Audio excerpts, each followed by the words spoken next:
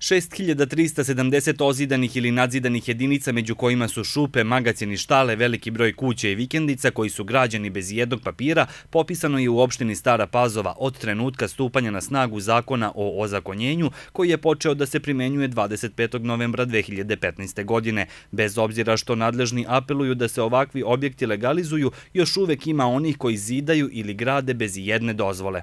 Pa mislim o tome da ne grade dok ne spreme papire. Nisam nija kuću gradila dok nisam spremila papire. Nismo zakopali e, lopatu dok nismo sve te papire i debelo platili. Nisam gradio, a verovatno treba da pripremim da, da bi mogli da grade dalje. Od ukupnog broja nelegalno izgrađenih objekata u ovom delu Srema legalizovano je 2342, dok je preostalih 9175 ušlo u postupak ozakonjenja. Za što je efikasnije ozakonjenje, potrebno je ispoštovati nekoliko birokratskih koraka, angažovati geodetu i arhitektu. Nešto što je na terenu, što postoji, praktično projektant to u projektu iscrta, prikaže, da kažem, taj objekat, prepis lista nepokretnosti mi vadimo po službenoj dužnosti i ukoliko objekat nije kartiran u katastru, to svaki projektant može da proveri u ime investitora, radi se geodetski elaborat objekta, isto prikaz znači objekta na parceli. Za individualne objekte do 100 kvadrata taksa iznosi 5000 dinara,